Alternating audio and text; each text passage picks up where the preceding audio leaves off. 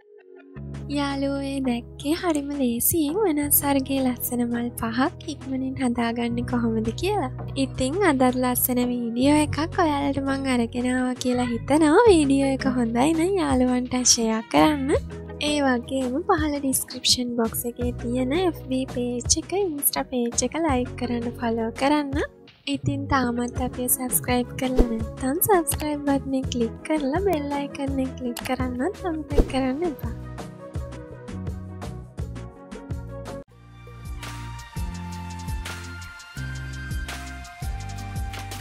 ඉතිං අලුත් දවසක තවත් ලස්සන වීඩියෝ එකකින් යාළුවන්ව හම්වෙනකල් හැමෝම පරිස්සමින් එන්න.